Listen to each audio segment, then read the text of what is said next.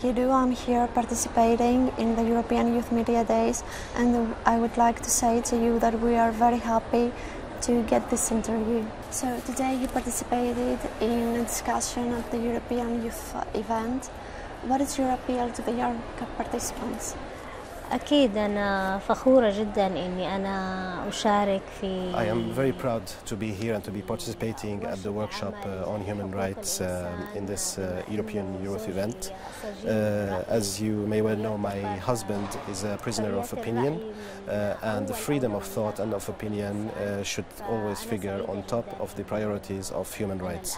And therefore, I am happy to be at the European Parliament seeing that there are youth who are uh, believers in human rights and who are working to defend it uh, and uphold uh, the principles of human rights. يحاربوا ويدافعوا عن حقوقهم.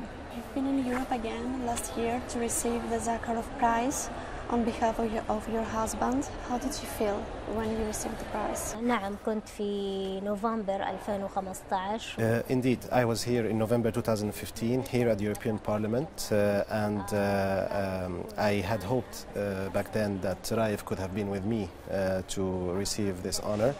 Uh, unfortunately, uh, he was not able, and um, uh, I am still so proud uh, to receive uh, that he received the Sakharov Prize, and I hope that it would be a window of hope, uh, a door of freedom that is opening up uh, for Raif. I am quite proud uh, that I come uh, from and that I have become, we have become uh, part of the Sakharov family, and I thank the European Parliament for this. أصبحت من عائلة سخروف آه، أشكر البرلمان الأوروبي على هذا الشرف اللي منحه رايف ومنحوني How did Raif get the idea to start a website? Did you understand from the beginning of your relationship that he was interested in uh, things like uh, uh, human rights or uh, the place of uh, religious among the societies? آه، رائف من أول مؤمن Uh, since the very outset, since the beginning, I, uh, uh, uh, um, Raif uh, has always been a believer in uh, uh, women's rights, and he has always believed that women should uh, are supposed to never uh, relinquish these rights. Um, uh, it is uh, rather, uh, it is not just uh, his own story; it is his own belief as well, uh, and his uh, belief in human rights and freedom. And this is what led him at one point in his life to uh, release, to, to set up that website. Um, it was at a certain uh, stage, at an early stage of his life. He was quite young, in the, at, at the age of 22 or 23, uh, when he thought of uh, launching the website. Uh, and as you may know, know ev- every human being had, goes through different stages in his life, and that was what he was thinking about at that time. آه، يجتازها الإنسان آه، آه، له تفكيره في هذه المرحلة When things became really hard for you after after the arrests and the detention- detentions, did you ever ask him to stop writing? Raif has never written anything aggressive uh, or uh, calling for terrorism uh, or anything of the, of the sort for me to tell him stop writing. Uh, he is just a human being who wanted to express his opinion and therefore uh, the, uh, and to express it peacefully. And therefore, on the contrary, rather than telling him to stop, I always encourage him to continue. And this is something that we encourage our children as well to always call for your rights and demand your rights.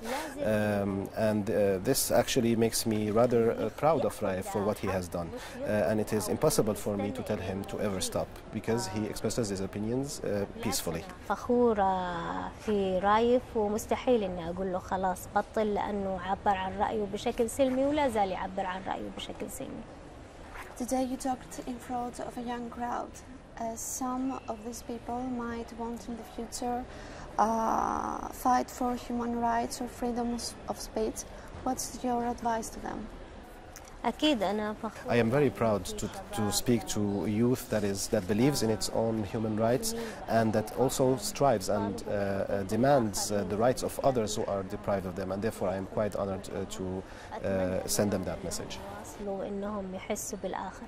We have gathered some messages from young participants, especially young journalists, uh, being here in Strasbourg for European Youth Media Days with uh, a special message for you and your husband, Raif.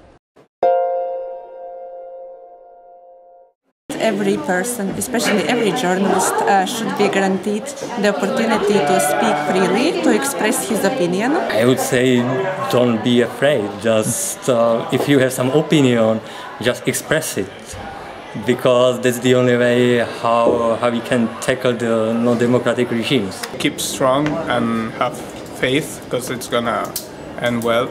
Because your husband has fought for a really important cause and he is just right. Like no one should be punished to say his words or his his ideas. Keep on fighting. Freedom is the most precious treasure we have. Don't give up.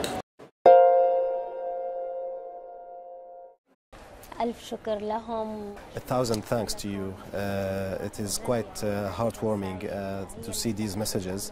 Uh, they give us the courage to continue, me and Raif, uh, and they give us the hope uh, to see that people are supporting us like this.